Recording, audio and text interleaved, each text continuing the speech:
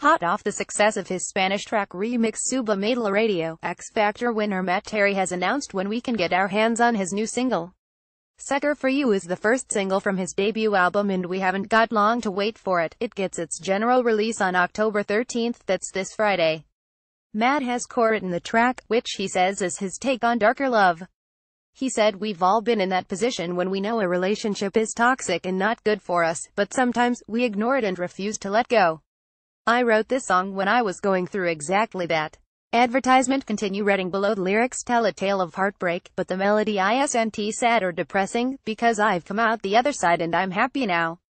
And this is just the start for the winner of 2016's X Factor, copyright Tristan Fewings Getty Images Matt added I'm so excited for people to hear my new material. So far people know me as the guy who won X Factor. But when I look back on this time last year, I can't quite believe how far I've come. I'm so grateful for where I am now, and I'm happier than I've ever been. I can't wait for the next step in my journey.